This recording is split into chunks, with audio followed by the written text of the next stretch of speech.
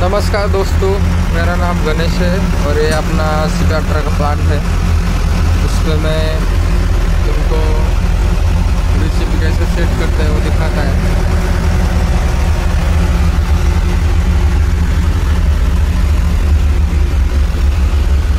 ये अपना यहाँ पे रेसिपी सेट करता है। ये अपना होम रन मीटर है। स्क्रीन दिखाई दे रहा है आपको सबको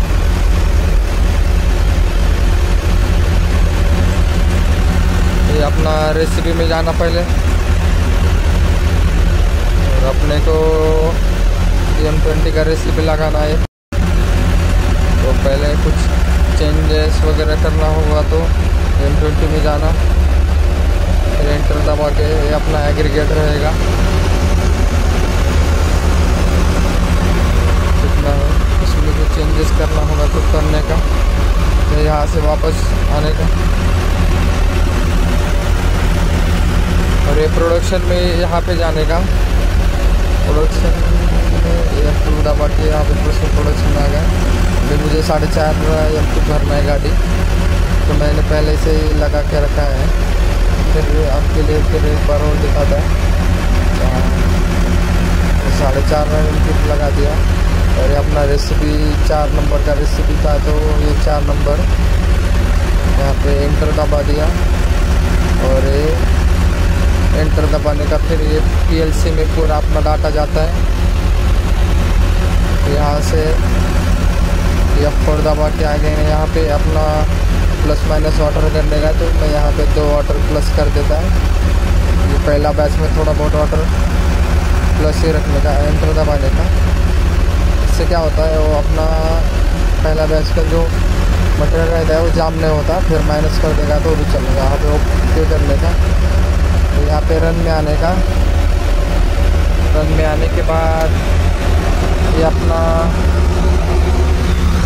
यहाँ पे गेट क्लोज रहना बनता है और ये मिक्सर तो ऑफ़ रहना बनता है। रहना चाहिए। और जो अपना स्किप है, वो बॉटम में होना चाहिए। तभी आप ऑटो में चालू कर सकते हैं। और प्लांट अपना मैनुअल से ऑटो में डाल देते हैं। यहाँ से ऑटो में रहना चाहिए। और ये एक्टिव स्टॉक का बटन है, ये दबा देता है देखो, ये अपना चालू होने लगा है। और यहाँ पे बटन भी वहाँ पे गिरने लगा है। हम देख रहे हैं। अभी अपना एडमिक्सर को टोलरेंस आ गए हैं। यहाँ पे फॉल्ट का बटन है ये दबाने के बाद टोलरेंस अपना अपने आप चला जाएगा। तो केमिकल ज़्यादा आ गया या मटेरियल ज़्यादा ज़्यादा आ गया तो इसकी वजह से आता है। देखो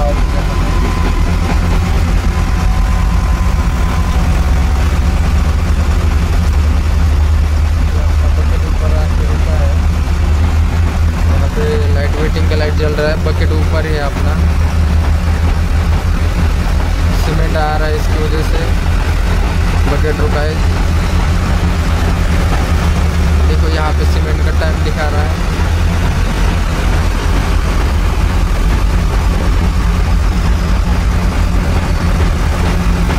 तो इस तरीके से लोडिंग चालू करना रहता है। वीडियो पसंद आएगा तो लाइक करो। Thank you